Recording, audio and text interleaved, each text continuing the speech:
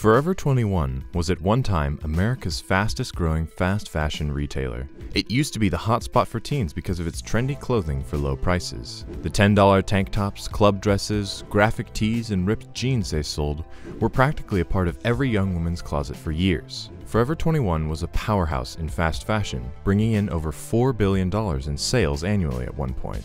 The fashion chain seemed unstoppable. Well, that was in the not so distant past. They filed for bankruptcy back in September 2019. It's crazy to think that this California retailer that popularized fast fashion in the US went bankrupt so quickly. So, what exactly happened to Forever 21? Do Won Chang, founder of Forever 21, was born in a village called Myeongdong in Seoul, South Korea in 1954. At an early age, he already had a strong work ethic instilled in him. When he was younger, he spent his time working in coffee shops. In fact, he even started his own coffee delivery service. He had always dreamed of moving to the US to pursue the American dream, beginning when he was in the sixth grade. And in 1981, when he was only 22 years old, he made his dream come true by moving to LA with his wife, Jin Suk.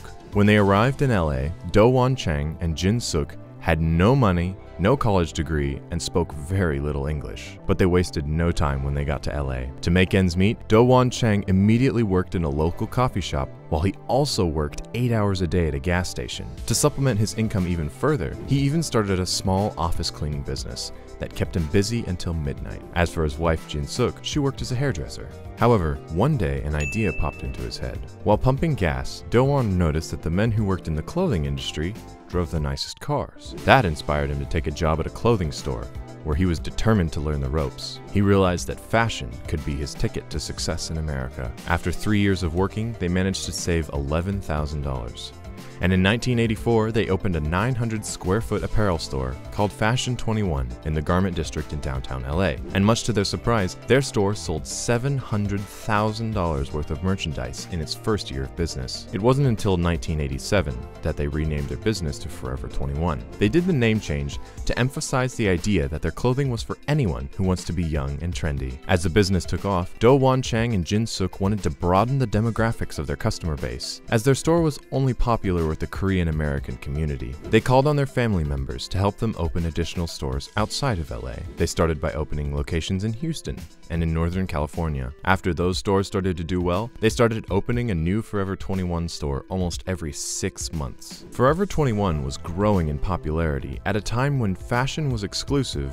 and style conscious clothing wasn't exactly affordable for everyone. Designer or high fashion has historically only been available to the rich. Do Won Chang and Jin Suk understood this and used it to their advantage. The reason Forever 21 became so successful was because they cultivated a huge following by selling trendy clothing for low prices. Jin Suk was eventually approving over 400 designs a day. This meant that the company could sell trends as soon as they were happening. Forever 21 made it possible for nearly anyone, from low-income families to students, to buy in on the trends. Customers could immediately and easily pick up a shirt for $10 or less. Not to mention, the rise of internet culture in the 2000s also helped fuel the demand for trendy and affordable clothing. Fast forward to 2001, and Forever 21 had opened 122 stores in the US. By this time, they've also opened their first store outside of North America. By 2005, they had 363 stores in the country and 7 stores overseas. At the height of their international growth,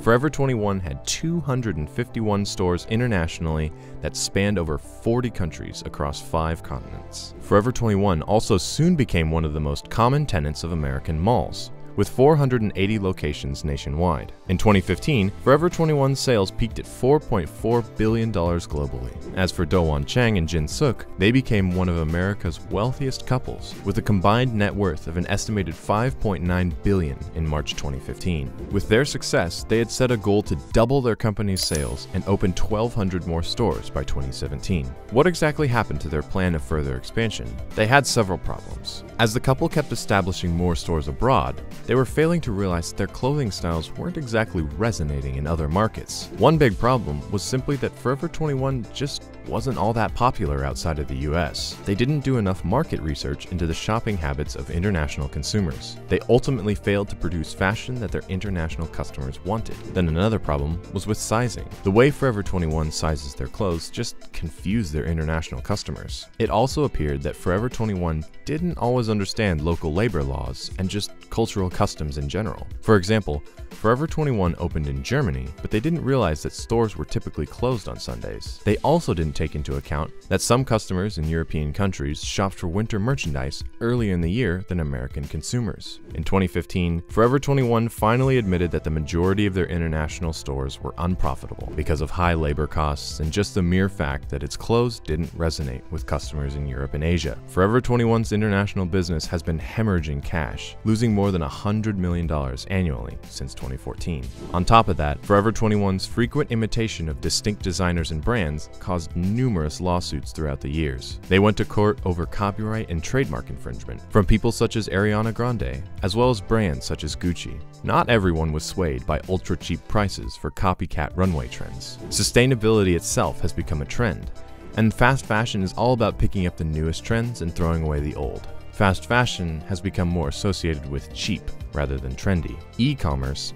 is one big area Forever 21 failed to take advantage of. Forever 21 admitted that its online sales were low compared to their competitors. Fashion retailers like Fashion Nova use celebrities and influencer inspired marketing to grow at a rapid pace. And as e commerce continued to boom, Forever 21 struggled to adapt to the changing consumer behaviors. Even though they launched their website back in 2005, their website only accounted for roughly 16% of its total sales, according to their bankruptcy filing. This is mostly because they've been way too focused on their brick and mortar stores that they became late to the online game. Based on a survey in 2019, Millennials prefer online shopping over going to a physical store. They make around 60% of their purchases online. As for Forever 21, even after all the years to prepare for online sales, they didn't properly prepare for their online presence. The confidence that came from their success back then led them to open new brick and mortar stores in 2016. They even expanded existing stores to take over multiple floors with men's, children's, and home goods sections. Forever 21 sales were estimated to have dropped by 20 to 25%